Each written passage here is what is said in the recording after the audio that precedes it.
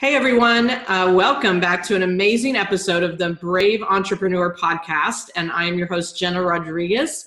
And I am your brand business and brave strategist, helping entrepreneurs worldwide really discover what their brand is all about, how to articulate it, how to monetize it, and truly package the natural talents that you offer the world so that you can live a freedom life and also influence the people that you really want to influence in the world. So, this show is just an opportunity for me to uh, introduce you. Um, we've got an amazing guest. Anjelica is our guest. Say hi. Hi, everybody. right? Everybody can see her beautiful face. And we are going to have an amazing conversation about her story and what she does for people in the website world. Um, she's an amazing talent. And this show is so much about our story and you know, and what brilliance they bring to the world and, and what brought them here, you know, and I think there's always a journey. So I'm excited uh, to learn um, and share uh, and Anjelica's story as well. but first, excuse me as I cough, uh, I want to first share with you her official bio and then she can share a little bit more about um, her story. So, uh, Anjelica Dazel is a web designer and brand strategist who specializes in luxe branding and website creation for female entrepreneurs. And she is completely self taught in web design and believes that a website should be as strategic as it is beautiful. And that is something I agree with 100%. Um, and she focuses on optimizing websites for maximum client and email list subscribers. And so I want to learn more. And so thank you for that. And I want to learn more about where and how did you get this, get to this place? Like what really brought you to this and how else do you help people?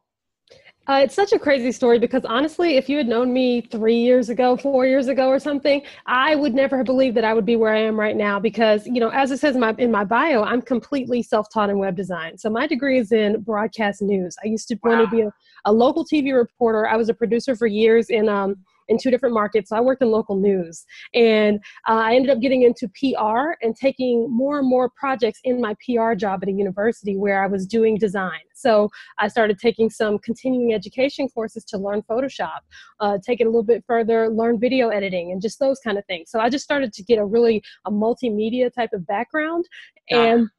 Some people started just asking me to do little projects for them on the side video editing things. And i, I you know i made my first i think $150 or something. And i was like wait, this is something you can really do. Yeah, you know, I could take this money and spend it on, you know, like a, a, a wallet from Michael Kors or whatever. I think that's what I spent on the first one. You know, it's like I had this running around money in addition to my nine to five. And, you know, right. things just kind of really moved quickly after that. I kind of made a decision that I wanted to pursue this and make it my job. I wanted to leave my nine to five and that kind of thing. So, really, within about five months from me taking my first client, to me leaving my nine to five, it was about a five month span, wow. essentially. So um, things really just kicked up, and it was making that decision to leap. You know, I don't, th- I wasn't expecting to leap that quickly, but logistically, it just worked out that way. You know, you got your work contracts and stuff where your contract right. is ending here. Do you want to renew for two more years? You know, same with my lease at my um, apartment. So you know, I just said I'm, I'm going to take the leap. I'm going to do it. So that, that's how that happened. Wow. You know, and that's so amazing because I know it may, I mean, the way you delivered it, it's like, no big deal, right? like it's so, it's so easy. But of course that's what's on the other side of, of getting brave and, and being willing to take that leap of faith. So tell us a little bit more about that experience. Did you, I mean, was it that easy for you or were you kind of like, no, this is pretty scary. It's new what if I don't fail? Did you have a lot of what ifs going on, or just kind of share with us the inside scoop? Yeah, I had a lot. I mean, it was it was absolutely terrifying to think. Oh god! because I've joking been, around here, right? Right. I've always been the girl who just wanted a stable nine to five and those benefits. You know, and just have everything come in predictably. I've always been that girl. Yeah. And it was really just like a radical change. Uh, me making, you know, the, the first money on the side where I, and then I started to be inspired by other entrepreneurs online and seeing their stories and what they could do that really kind of pushed me toward that. It also helped that logistically, that was the choice I needed to make. It was like, you can either, right you can either leave or you can stay in this job for two more years and be you know contractually obligated to it you know like so logistically, it was something that I needed to do. It also helped that I had a friend of mine was like, move in with me for a couple months after you leave your job, and that way you can kind of build your business up and be able to go out on your own. So all of wow. that I felt like i had a little safety net, net where i stayed with my friend for a couple months um, and then i was really able to just kind of go out on my own after that. Yeah so that's amazing. So yeah that's what i want want people to hear is that you know when you know safety is an illusion for mm-hmm. sure right? You know and i know that a lot of a lot of people listening and i think that's what you you said something about you looked out to other people and going okay can can i do this? They did it. You know they're an example of that it can work if you do the right you know make the right decisions or at least make a decision. And so that's what this show is all about. I trust that people are listening uh, especially those that may still be in the nine to five wanting to be an entrepreneur or they're just in the beginning stages and they want to um, keep their brave on, right, and stay in the game. And uh, and so that's what you're showing all of us is that you can do this. You can take the leap of faith. You can make fast decisions. You can make things that are um, some predictability, but not always, and still land on your feet. And so, how long have you, uh, if you don't mind sharing, uh, how long have you been in business, I guess. How long ago was that? I've been in business for about two years now. It was around August of 2015 that I started my business, and I left my nine to five in like February or so. Okay. So, um, so I've been I've been gone I've been out of my nine to five for about, about a year and six months or so. Yeah, well, congratulations. You're still in the game, right? You're still making it happen, which I think is fantastic. And I just really love what you're up to and, and the talent that you bring to this industry. So, um, so uh, kind of shifting gears a little bit, like, uh, you know, this show is definitely about Brave. So I always like to ask my, my guests, what does Brave mean to you? Uh, to me, I think being brave, you know, it means something different for every person and every situation. I'm, I'm a big history buff, so I'm always, I love stories of especially brave women who, you know, took a stand and that kind of thing. So it's, it's different for every person, but I, I think at the core, you know, it's about making a decision that isn't necessarily the most comfortable, the easiest, the most predictable decision in order to take a stand for either something that you believe in or a dream that you want to fulfill.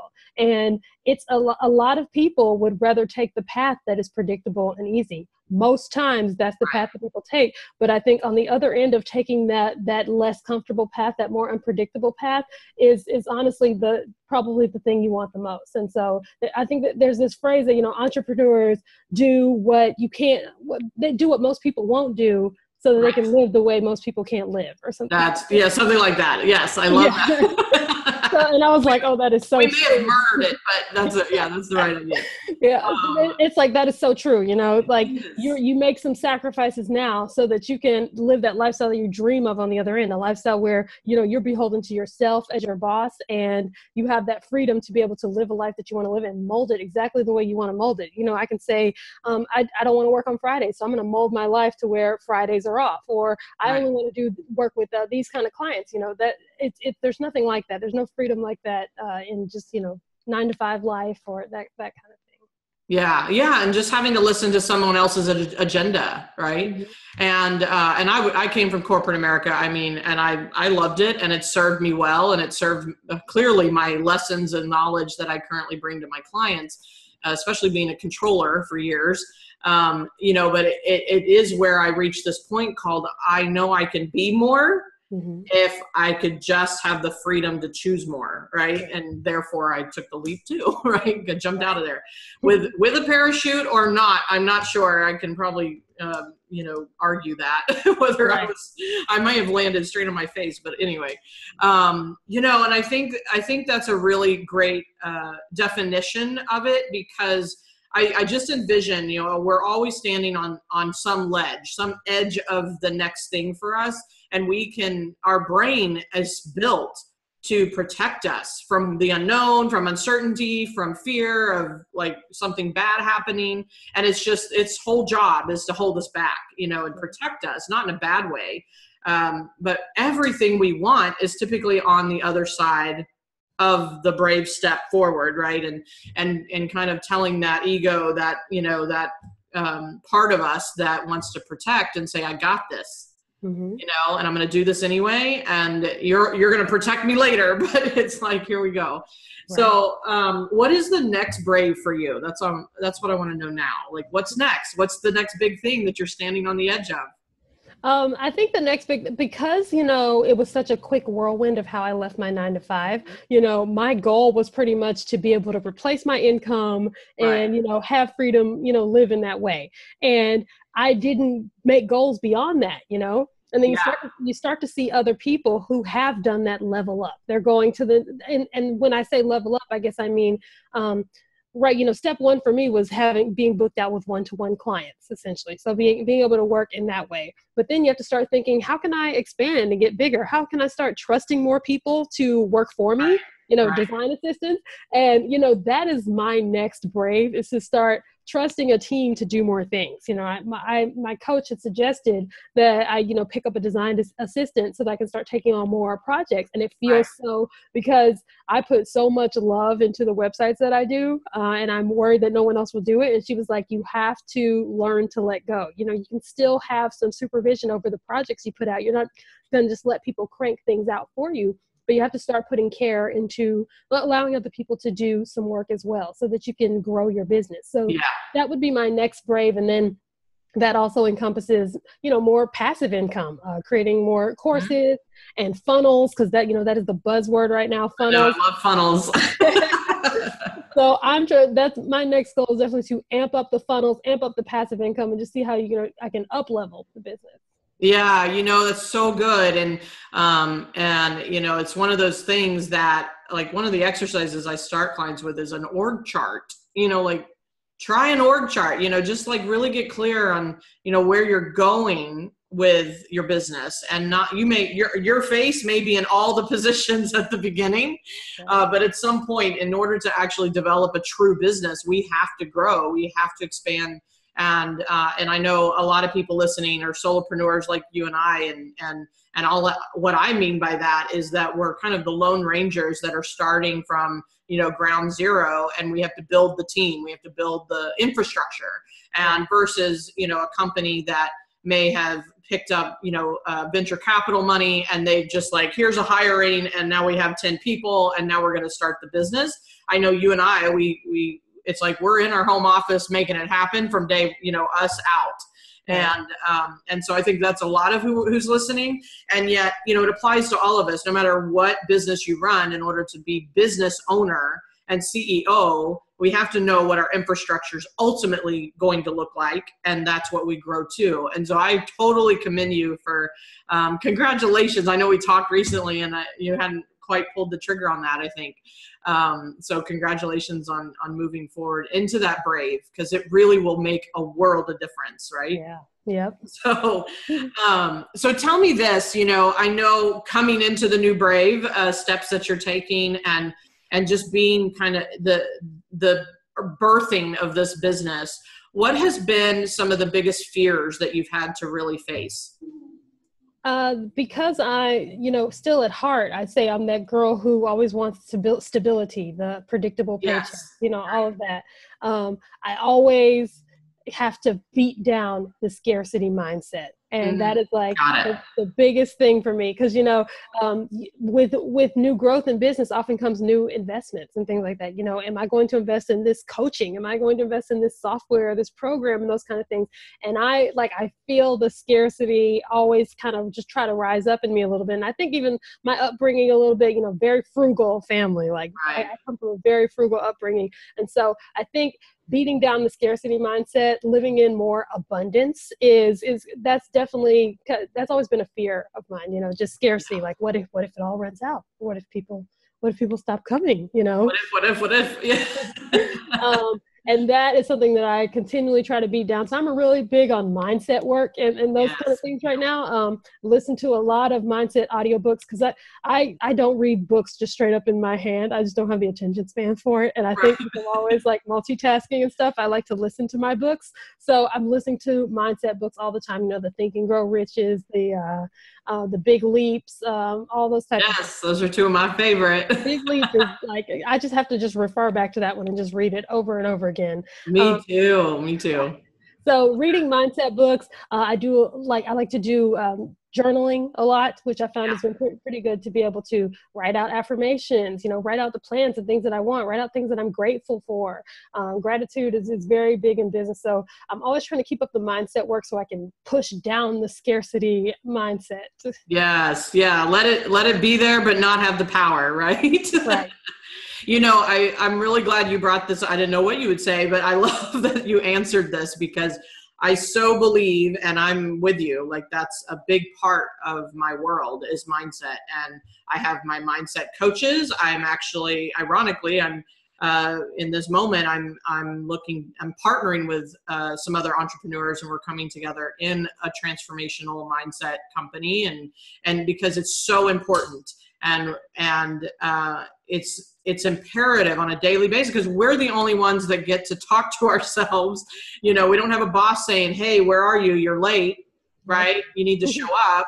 We don't have you know any of that. And um, and so we have to talk ourselves out of that bed every morning and we have to talk ourselves into the next brave thing that we've got to do in our business. We've got to talk ourselves and we have to have our own board of directors in our head and um, and you know and that's not always easy without the the mindset focus and feeding our brain right um, right. and so i always call it the food for the brain right yeah uh, food for the brain heart uh, and and heart what is it what did i always say um, feed your brain and give your soul the like oh heart soup and brain food that's what it was I like it. Brain food.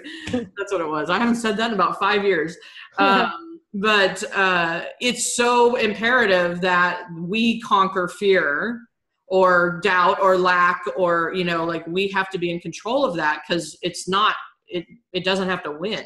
It's not yeah. doesn't have to win right? Doesn't have to take us over by any means yep. unless we let it. So i love that and i love that that's that's i think what's accelerated you. Like i that's what i see anyway is is the acceleration can only occur when we master our mindset yeah, and I definitely try to keep it at the forefront because that includes, yeah. you know, the things that you, the thoughts that you let come into your mind, sometimes subconsciously. Because I, I, oh, definitely, oh, yeah, totally. you know, I keep using the word scarcity, but I, yeah, I do think that's the one that tries to get me, you know. And that's even messages I've uh, I've read some mindset books where they say, you know, limit your television watching, limit your magazines, because sometimes like the the mission of these is to tell you that what you have right now is not enough. Right. Um, and because they have to sell a product. You know, we sell products, everyone does things to sell products. Theirs to tell you that what you have now is not enough. And that can seep in. It can seep in. Now, I definitely yeah. haven't cut off all TV, you know, for sure. But um, I, I, I'm always, if I notice something is starting to creep into my mindset and make me feel scarcity, I'm like, well, I need to cut this out. That's yeah. what I did with The Bachelorette recently. like I, I didn't like how the last. That's fun. Like, that's fun to watch, right? I didn't like how the last round of the Bachelorette was going, and I felt like my scarcity mindset was like ticking up. I said, I can't watch this anymore. Oh, that's funny. I'll probably be back next season though. There's a break in between, right? I like. I, it's my um it's the way I veg, right? It's reality TV shows. I'm, I'm, a housewives girl. yeah, yes. Oh my it's so funny. My daughter and I watch those um, I've kind of I've kind of turned it off because man, is that drama, dram, drama and dramatized all the time. And I'm like, all right, I've had enough. Um, they need to work on their mindset. they need to work on their mindset. Um, and I like watching The Voice. The Voice is one of my absolute favorites, and it's all about talent and people stepping into their brave, getting on that stage. Right, that's a good one. Very so um, I just love talent shows because it it requires brave, right? Just like an entrepreneur. And so, what what advice would you give people listening about, I guess, getting their brave on or business or what have you? Of uh, you know whether they should start, stop, you know, keep going. Like how, how what would you tell them if you had the had the opportunity, which is right now? uh, there was a book that I was reading, and it was actually a dating book, um, but it was talking about how we have to remember that most of the feelings that are going through our body are simple, simply hormones or chemical reactions. And mm. sometimes you need to just relegate this to hormones. Is this real? Or if um, what I feel um, is what I'm feeling, is it real? Or is it just really reactions? It's the way my body yeah. is feeling right now. Um, I um, I come from a sports background, so I played volleyball in college. It was like my entire life for the first 22 years of my life, and I would get so anxious before big games. Like I, I just call it butterflies or whatever, where I always have to bend over just to like not feel it, you know. Yes. And, now when i feel like that because sometimes those do those they still flutter up before i do a webinar or something like that right same I butterflies like, yeah i like to assign it to the fact that these are just hormones. These are just chemicals. What's real right now you know? So and a lot of times what's real is that you are you bring something to the world. You know you you bring something to the world i bring something to the world. We have something that we can teach people. And a lot of times they say you only have to be one step ahead of the person that you're teaching to give them some value. And so i always like to remember that when i get nervous before a webinar when i get nervous before speaking or something you're often speaking to an audience that really needs what you have to bring they're not going to see you stand up there and think, wow, she doesn't know what she's talking about or something. You know, you have things to offer, you have value, and you're speaking to people who are ready to soak that up. So I like to remember what's real right now. Is it the is it the chemicals firing off in me right now, or is it what's what's really happening? Yeah, is this actually an ex- experience going on, or yeah, you know, I think I love that actually because uh, you know, and it's like, um, what was it? I was watching something that Oh, I know. I was well. I was speaking at Harvard um, in the summer, and one of the one of the presenters, the host, you know, of the the event, um, he said, you know, Elvis always got nervous. Mm. Like there wasn't a destination. There wasn't this plate, this point where he's you know didn't get nervous or butterflies before he went on for the show, you know, and and he said, you know, just expect the butterflies. Like expect it, be know it. It's okay. It's normal for because you're delivering, you know, um, you know, it's like you're you're playing the game, right? Um, volleyball was my game too, actually. Uh, ironically, I know. I, I knew I liked you for. I know we have a lot in common. Like, we could list a whole bunch of things right now. My daughter's playing uh, volleyball too. Um, awesome. Yeah. Anyway, uh, it's a great game, and you know, and so it's it's really true to be able to to kind of observe and reflect on your own, on yourself, and go, is this you know, is this something I really need to run from, or is this like just a normal reaction for the the space that I'm in? And you know, and it's like I've noticed my my butterflies get a little less. You know, it's mm-hmm. not easier, uh, but they still exist. You know, and um, and if we can just be really you know conscious of that i think that's a mastery a mindset mastery that will pay off is there anything else you wanted to share uh, as far as fear goes, I, I, was going to mention that I would say this is the number one thing of the clients that I speak with on the phone. Fear is pretty much the number one thing that is stopping them from moving to the next level. And it's always a thing I have to tell them to that they need that do it. If you're scared, then do it scared because yes. really what's the worst that can happen? Like i'm i'm all about these days looking at what is real right now you know? So right you know, how much does it hurt to be able to step out? What's what's the worst that could happen what's the worst that could happen do you think some people are going to talk about you do you think that people are going to think you're not smart um, because for every person that thinks you're not smart there's going to be you know five that think you are or That's know, right. however it go whatever it is this is a big old world, you know, and there are people out there who are going to uh, like you for you. It's, it's, I've seen so many entrepreneurs out here who have the smallest niches, you know, and they are themselves in their niche. And when I say small, I don't necessarily mean in size, but specific, you know. Yeah, specific, right? Narrowed. Right, incredibly narrow niches, and they are themselves all the way. People, I see people online who can just totally be themselves. If they curse, that's what they're going to do. They're going to curse. If they're eclectic and you know they they got their um, dream catchers and all that, you know, whatever they are, right. Right. like people are totally themselves online and this is like one uh, this is a time like none other in history where you can be that way. You can be totally yeah. yourself and there are going to be people who will like you for it you know? So what is the worst thing that can happen if you just take the first step out there? Take one step. Give yourself a well i want to have this done by a certain day. Just take one step and then take the next take the next like that. But i'm always just trying to focus in so on good. what is real yeah what is real right? That's the message. And um and because fear is not. Fear is what we make up right? It is the story we're creating in our head. And i love that because uh i do everything scared. You know, like that's brave right? Yeah. so um this is just really good positive ex, you know advice for people watching or listening. And um you know and i think it's what makes the difference between winners and non-winners and i don't mean losers i don't say that word very much at mm-hmm. all actually. Um, and the truth is is we win wherever we play right. certainly if we play the game but it's when we let fear or or the outside forces or hormones as you call them you know when we let those things win then you know we're shortchanging ourselves from what's possible and all the potential that we have. And and i just love that. You're correct. I'm actually watching some influencers in the industry too and it's like they niche and they they who are who they are and they have a point of view. And i think that's that like you and me both are brand strategists and you know and being clear on what your point of view is and not always trying to please everybody because you can't. It's right. not going to work. And um and you know and just wishing other people well. You know if they don't like you then wish them well and let them go find people they like. And and it's the best thing for you ultimately because um, somebody told me uh, i was listening to an interview oh I th- it was larry winget um, he was being interviewed and he said if you know the sign is when you're successful you know you'll know you're successful when you have raving fans but you also have raving naysayers. Yeah. you know, it's like if you don't have anything to say that, and you're not out there talking about it, nobody's going to say anything negative about it because there's not they're not hearing anything. But you know, it's like really to be at a high level of success, just percentage wise. If you're in front of a million people, you're not going to make 100% of a million people happy right? Or or be your person or fr- or fan for that matter. So i'm i'm always remembering that and i think it's really awesome that you brought that up because i i just think you've you've shared such um great nuggets and you know things to remember about what brave is and how you really approach your business and your life and how you're accelerating your your success because of it uh, so I just really thank you for that because um, you and I are very much on the same wavelength. like this is good. really good. I, I, figured, right? Um, so as we kind of close out here, what um, you know, I know you you speak website, you speak brand, and you speak this language that I'm very familiar with.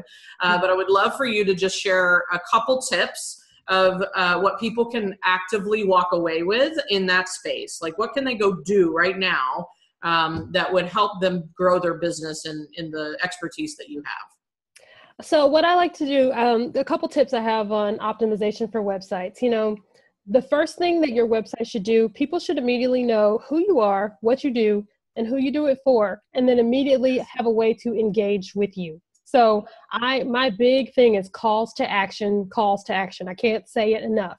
If you want someone to do something on your website, are you asking them to do it? You would you'd be really surprised how many times we do not ask for the sale. We don't ask for the action. We want to be we feel like we're being scammy or something if we ask for something. But the thing is, what you're offering, what you're selling will help someone. This is something that will help. You're not a, a vacuum salesman going doors to door to door. No. and some people need a vacuum. yeah. right. So even they're helping. Selling is helping. Selling is, is helping. Yeah. Um, so remember that and remember to ask for the sale. So that's the first thing is that I always yeah. want to let people know who you are, what you do, and who you do it for right off the bat keep those calls to action going through the site. And you know i'm i'm always i'm big on freebies. So that's the next thing is essentially what is the thing that you're building your email list with? And are you putting right. that front and center?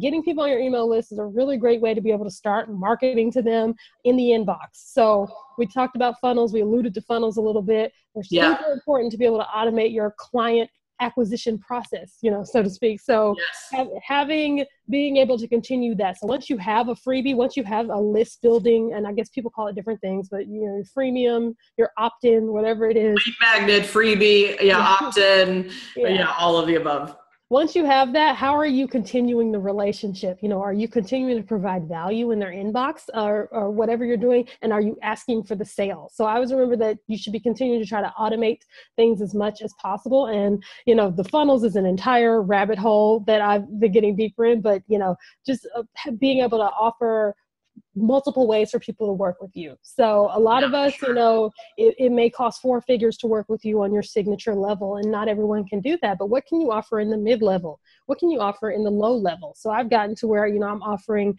passive income products, you know, smaller things that people can purchase under $50. So get an inkling of your value and you're also making passive income off of that so i like to give multiple ways for people to work with you they can get a taste of what you do um, at their price range at a level that they can handle Right. Yeah. You know, I love it. Love it. Great, great advice. Um, right there with you because you know, and and and um, and I think it's just really powerful for people to hear that these are the basics of this age, right? And websites have changed over the years, you know, mm-hmm. and and how people use them. It's not just for information; it's literally a call to action. It's it's and people, you know, in my opinion, they go to the internet before they make a buying decision, and sometimes they'll just buy what you offer on the website, you know, and of course, you and me both, we offer very high level signature programs that require a conversation versus just here, click a button and buy, um, and uh, more customized, more private coaching or you know support of some sort. And and yet some people just need a nugget. They just need you know a, a, sliver of what you offer. And that's a great way for people to either get it free you know that freebie or a small low end you know uh, package or program. So i think it's great advice. It's very relevant. And uh, you know for those people you know watching in here it's just it's the way the world's going you know. And i think i'm, I'm watching even the bigger companies adopt some of that um, you know kind of mentality so very good advice so let's see what um, what's the best way they can connect with you what's your what's the way they should reach out so my website is anjelicadazelle.com. Um, you can go there and check out whatever uh, the services that I have to offer. I do web design and branding. Mostly, it's a very luxe female entrepreneur vibe. That is my uh, target market, the kind of people that come to me.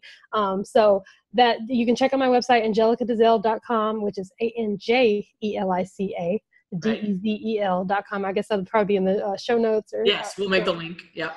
Um, and uh, I had a, a, gift that I wanted to give to you guys, the listeners, awesome. if you, um, if that's all right, Jena. Absolutely, please. We like gifts. Well, I have a three day course. It's called Make Your Website Irresistible. Uh, and uh, I have a, a, link that I can send you guys to where you can go check that out. It's just a, a quick three day course where I give my best principles for how to make your website irresistible. I do a little demonstrations in Squarespace as well on the last day, um, which Squarespace is my favorite platform for web design.